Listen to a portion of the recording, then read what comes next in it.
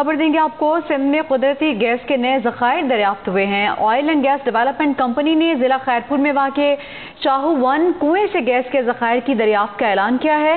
कुएँ में खुदाई का काम 18 अगस्त 2024 को शुरू किया गया। उससे कामयाबी के साथ बारह फीट की गहराई तक खोदा गया।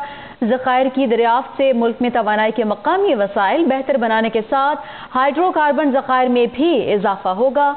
सिंध में कुदरती गैस के नए जखायर दरियाफ्त हुए हैं। Oil and gas development company ने जिला खैरपुर में वाक़ शाहूबन कुएँ से गैस के जखायर दरियाफ्त किए हैं और इसका ऐलान किया गया है। कुएँ में खुदाई का काम 18 अगस्त 2024 को शुरू किया गया और कामयाबी के साथ बारह हज़ार छः सौ पिचहत्तर फीट की गहराई तक खोदा गया और जखायर की दरियाफ्त से मुल्क में तोानाई के मकामी वसाइल बेहतर बनाने के साथ हाइड्रोकार्बन जखायर में भी इजाफा होगा।